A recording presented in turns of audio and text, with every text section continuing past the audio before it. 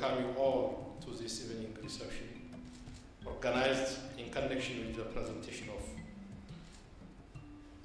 Ethiopia's candidate, Professor Hirut Woldemariam, for the position of AU Commissioner for Education, Science, Technology and Innovation.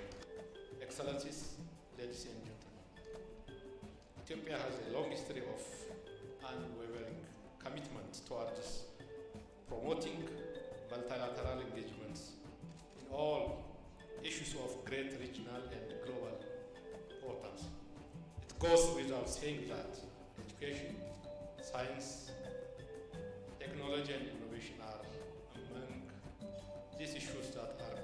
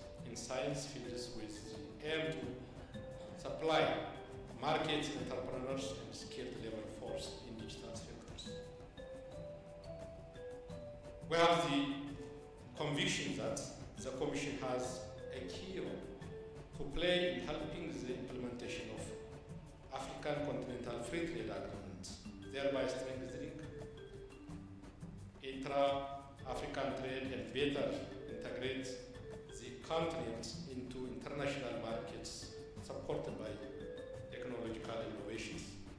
Excellencies, ladies and gentlemen, it is in this broad context and spirit of serving our continent that Ethiopia presented Professor Hirut Woldemariam, whose proven leadership qualities, skills, and competence make her an ideal fit to this important position. She has a rich experience in the portfolio as academician, as a scientist, as a leader, as a reformer, and as a member of public diplomacy group. I believe her qualities and experiences so far make her the best fit not only to lead the Commission, but to use it to serve the advancement of our continent. She has, she has spent her life breaking invisible glass ceilings and achieving numerous firsts as a pioneer woman in leadership and holding highest academic rank. She has started leadership with a good track record of achievements at Addis Ababa exceeding in the domain of academic leadership in progressively increasing positions of responsibilities from department chair, associate vice president to vice president of Addis Ababa University, Ethiopia's oldest premier higher education institute in Ethiopia. I had known Hirut first when I was a minister of education and she was a vice president of Addis University and could witness her being a quick learner, change maker, passionate and dedicated to her goal and able to work under pressure. She has proven being multitasker and succeeding in all platforms, engaged in international research networks and published about three dozen peer-reviewed articles in international academic journals on a range of subjects. She has become the first woman full professor in the area of humanities and social science at the Addis University. Congratulations. Then, considering her great performance, we have appointed her to serve as a cabinet member in the government system. She has served in two cabinets as a minister in three different ministerial portfolios. Minister of Culture and Tourism, Minister of Labor and Social Affairs, Minister of Science and Higher Education.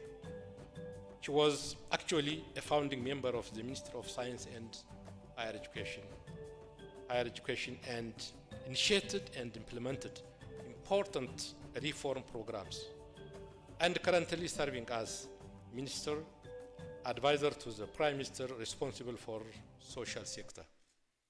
We are convinced that given her long years of national, national service in diverse ministerial portfolios and multilateral exposure to the mandate of the Commission, she is best suited to lead this important and prominent organ of the African Union and deliver the results we, we all are expecting from the, from the post. We are indeed confident that her great deal of leadership and managerial experience with the required ex expertise that she has acquired over the years in the field of education, science, technology, and innovation will be a great asset and added value to effectively discharge her duties assigned to the post. Excellencies, ladies and gentlemen, being a founding member of our prestigious institutions, OAU, AU, and hosting the institutions in Addis Ababa, Ethiopia has never got the opportunity to take part in high position. Ethiopia has presented an eminently qualified full professor candidate endowed with rich experience in the portfolio as an instructor, researcher, publisher, leader, and creating networks. In closing, I would like to reiterate once again our request for the support of candidate Professor Hirut.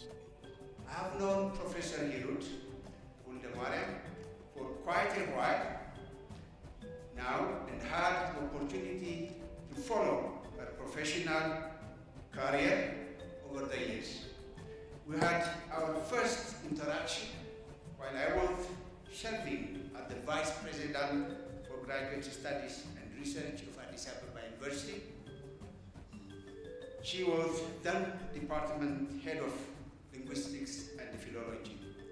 At the time, she was one of the few female academic staff serving as head of department, and in that capacity, she contributed significantly to the special machine of the university, was focusing on capacity building of emerging public universities, that is training their junior staff at secondary and tertiary degree levels.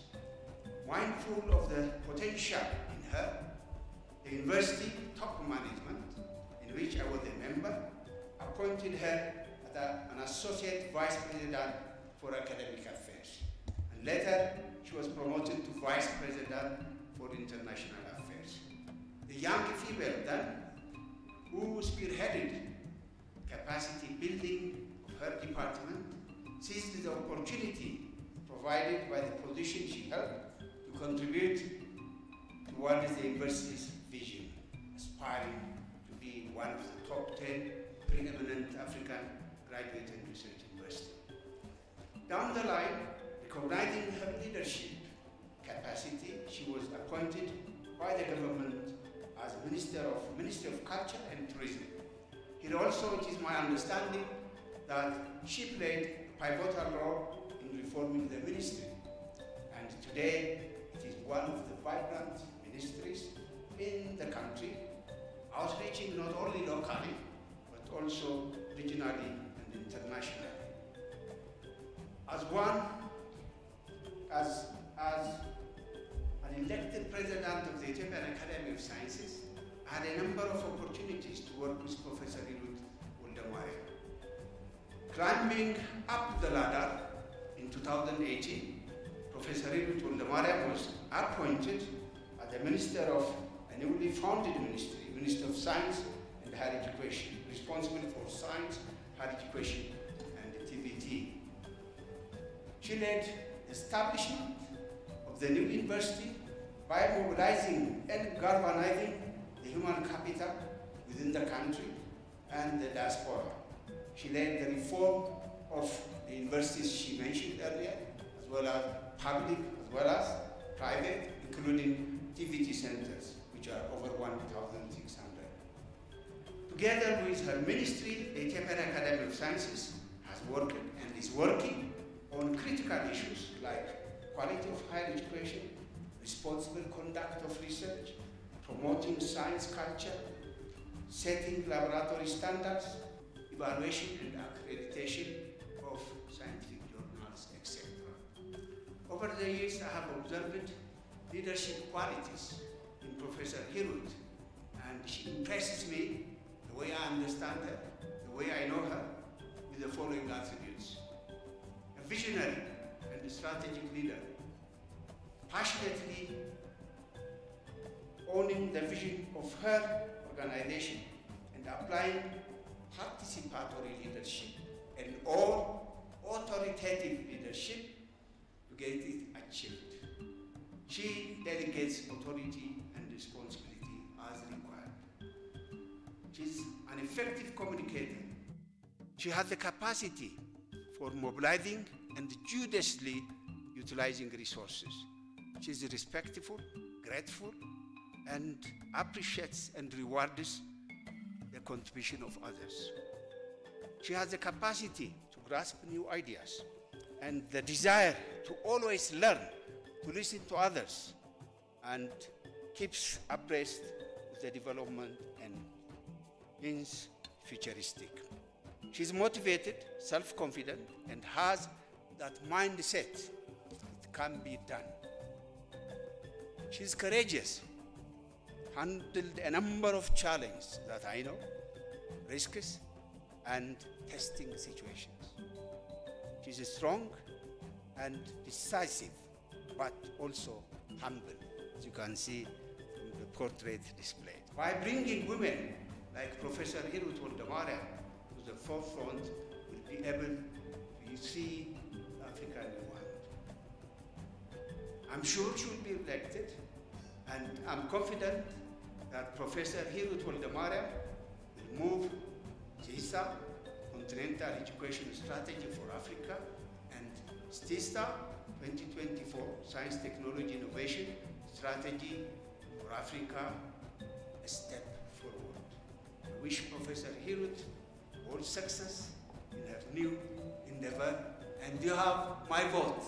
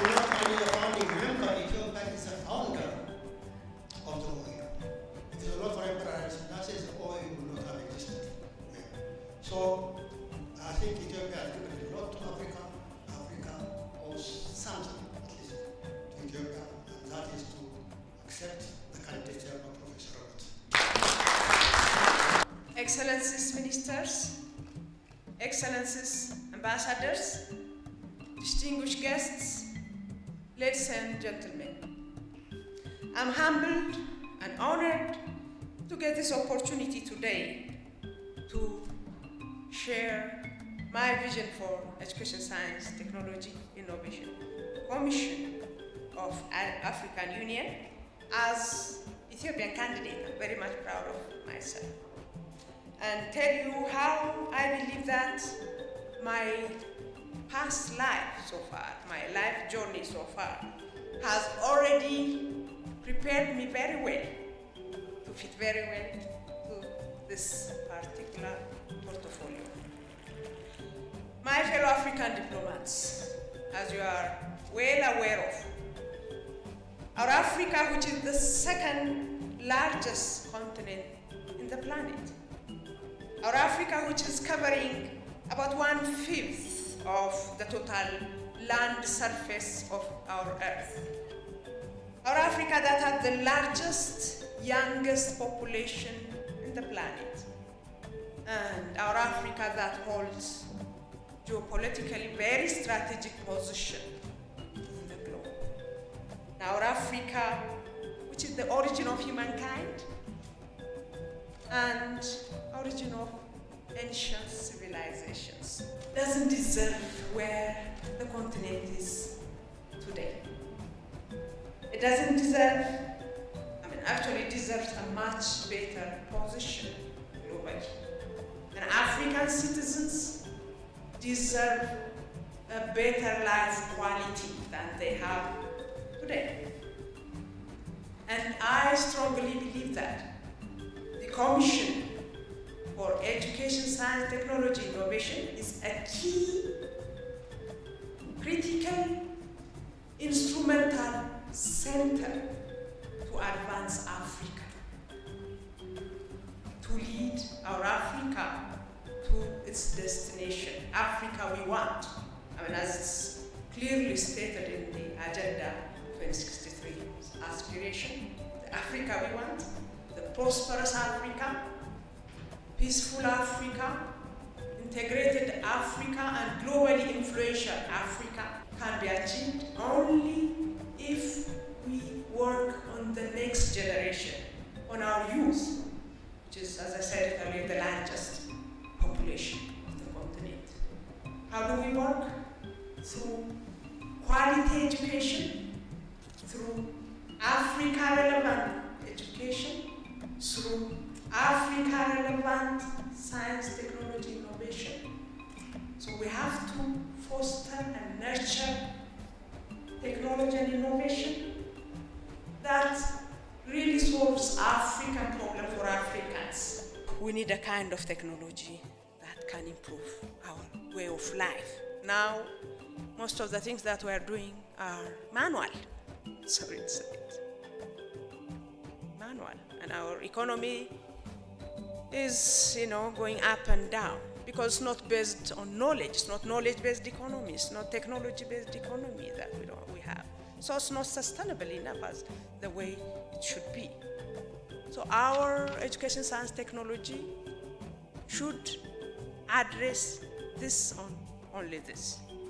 How do we do that? I have priority areas that I identified apart from the general vision. One is African universities and schools need to be revitalized, to be reformed.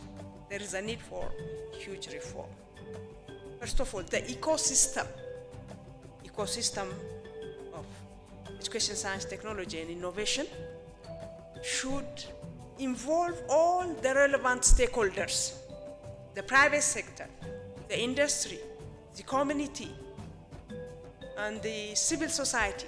They should take part so that they can ensure the relevance of the education we have. And of course, digitization. Digital technology needs to be, should be natural skill in this time. COVID has given us a, a, a serious lesson that our kids had to stay at home, disconnected from their lessons, while the rest of the world was continuing education with you know, online and other technology modalities. So we have to rethink this traditional way of teaching learning. It doesn't take us anywhere because lots of unpredictabilities in the future, man-made and nature-made, like COVID. So another important point, important agenda item that I would like to embark on if I get elected is inculcating Pan-Africanism. Inculcating Pan-Africanism. How? Schools and universities should be places for Pan-African values and ideals to be developed, for our kids to have Pan-African identities along the way. So it should be part of the curriculum, right from the elementary school. We should know who we are. We should know each other very well. And we should cherish our African values and identities. If we have to integrate as a continent, that's, you know, uh, what is stated in the uh, Agenda 2063's aspiration. And we need to have also strong Pan-African scholarship, strong Pan-African scholarship institutions in the in different parts of Africa, where we have, you know, a place for future African scientists, future African innovators, future African leaders with Pan-African modality can be created and produced for the best uh, future of Africa. And harmonization of accreditation system across African universities is another serious issue that I would like to address. We need to harmonize the curriculum, the qualification standards, accreditation system, so that we can have, you know, student mobility across the continent and staff mobility across the continent. Professors, students can move from one corner of Africa to another freely and then continue their education wherever they are. Just like the European Union's Erasmus Mundus. The Erasmus Mundus program, student can move around any part of Europe and do his or her study. Start here and finish there and so on. So this will create a way for integrated Africa and for development of Pan-Africanism identity. Uh, and another uh, important uh, priority uh, that I would like again to focus on would be establishing globally leading centers of excellence, centers of excellence, research centers, centers of excellence, especially on the uh, comparative advantage of Africa, the areas where we Africans uniquely possess and have. So we need to have leading, globally leading, not continentally, globally leading centers of excellence where scholars from the rest of the world can come and do research and you know develop knowledge and share knowledge and cherish Africa for that. Like for example, we, we say we are origin of humankind. All the seven billion of global population has emerged from here, from East Africa. But then we don't even have single center of excellence archaeology or paleontology.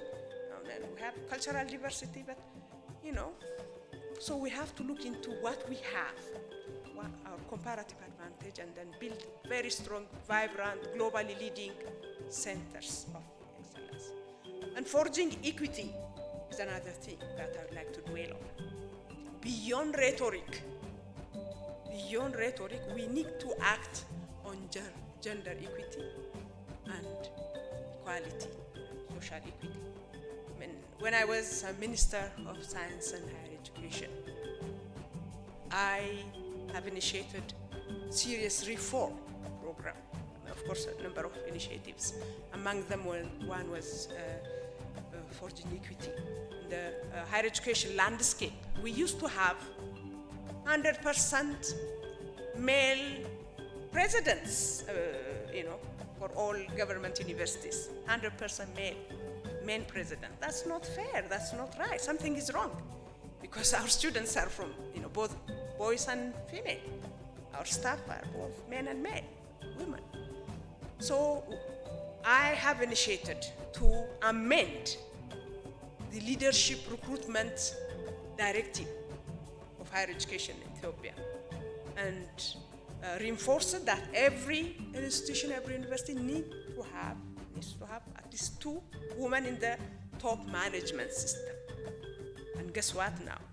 We have two women presidents, Mekele and uh, Dire Dawa, and closer to 30 women vice presidents on the landscape.